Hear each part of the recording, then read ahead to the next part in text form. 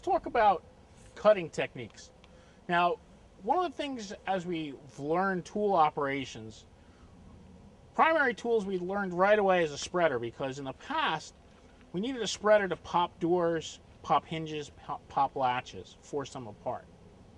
Today's cutters can facilitate cutting these things, hinges and latches, very easily. However, let's think about how. How do we cut hardened things like hinges and latches? Is it is it the same as cutting sheet metal? Is it the same as cutting a roof post? Because that's pretty much what we've practiced on in the past. We've cut roof posts to do a roof removal. Well, is it the same techniques? Now, one of the things we're going to show you, we're going to cut some hinges first. The primary thing with cutting hardened objects, hinges, latches, and maybe even some of the reinforcements you'll find in modern cars, you have to make sure open your open your cutter up very wide. Make sure your cutter blades go completely around the object you're cutting. Now, the important thing is, say they do, each tip goes onto that hardened object. That is called side loading or tip loading. If we tip load even the most fantastic cutter that's out there on the market, that cutter will break. Cutters are not made to be side loaded in any way, shape, or form. The blades will break. So we need to make sure our blades go completely around what we're cutting. That will also facilitate as the cutter works, it will pull that object into the most force that cutter will generate towards the back of the tool itself. Now, some of you might have experienced cutting these devices. Sometimes the, the cutter will twist and bend, especially when we go on to cutting sheet metal. One of the ways to facilitate that and make it a little bit easier for you, if it does start to twist in an unusual fashion, stop, open the cutter back up, flip it completely around so it's the opposite direction and try cutting it that, that way. One of the things that Mike stopped and did, he went back and picked out a hand tool, a cable cutter for this operation, and actually cut the wiring between the door and the body of the vehicle. The reason why we need to facilitate that today is because a lot of our body structure in vehicles, doors and roofs, will now have safety systems built into them.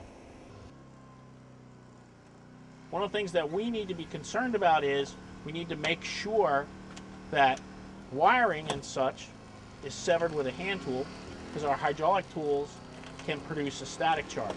We don't want any kind of back surging from static into the wiring that has the potential to maybe set these devices off. However unlikely, it is a possibility that we didn't encounter a few years ago. We've talked about cutting hard objects, hinges and latches and some of the reinforcements in cars. Let's talk about cutting roof posts today. Now, again, we've done this a lot in the past. However, the same kind of techniques apply. Make sure your cutter is opened real wide, as wide as it can go. Make sure it closes completely around and the blades are past the post as much as possible. Now, before we even get to that point, we want to make sure when we're cutting roof posts that we come in and we pull the interior trim away. What we're looking for, remember, side curtain airbags can be in vehicles today in any roof post.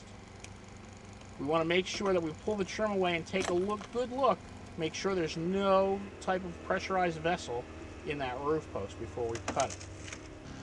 Now, the other point, we want to make sure we cut at a 90 degree angle so we minimize the side loading force on our tool blade.